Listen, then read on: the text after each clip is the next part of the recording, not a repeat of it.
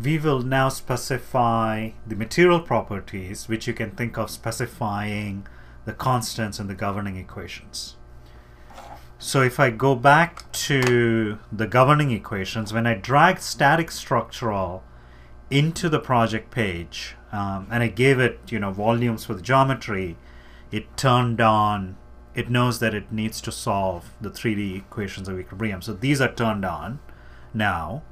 Um, and the body forces are turned off by default. So there's nothing to specify here, no constants appearing here.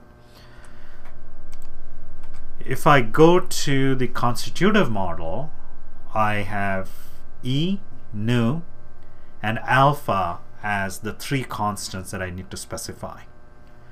So we'll specify that in material properties and alpha, this term has not been turned on, these thermal strain and the preload, the bolt preload have not been turned on. We'll turn those on um, late, a little bit later, but we can specify alpha before that. And in the strain displacement relations, there are no constants appearing. So we need to specify E, nu, and alpha. Let's do that. I'll go to the project page here and double click on engineering data.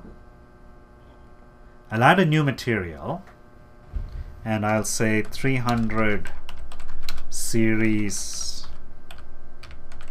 stainless steel. Under linear elastic, so I have isotropic elasticity. Um, I need to change the units to um, US engineering it's not changed the unit here so I, I need to also do that manually.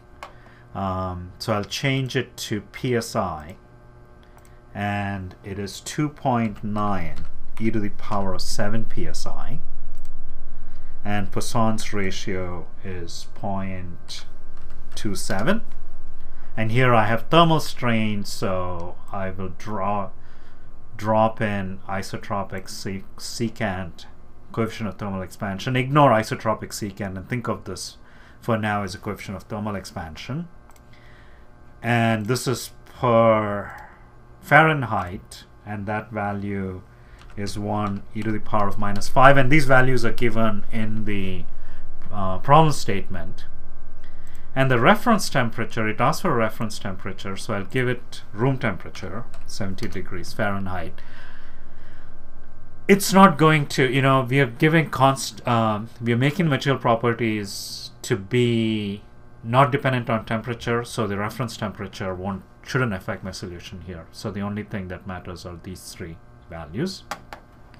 And that's a material for the the the nozzle the mid and the the lower nozzle and then we have another material for the bolt.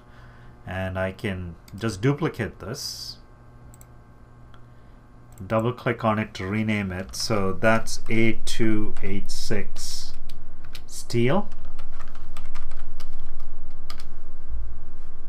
And if I highlight that, the coefficient of thermal expansion is slightly different.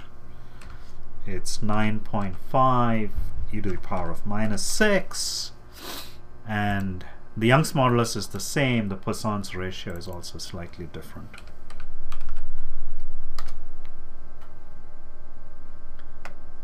Okay, and you can double check that the values you've entered for these two materials are the same as um, in the problem statement. Then I come back to project and I say refresh. So that will give me access to those material properties. And then if I go back to ANSYS Mechanical, I need to make sure that I assign the right materials.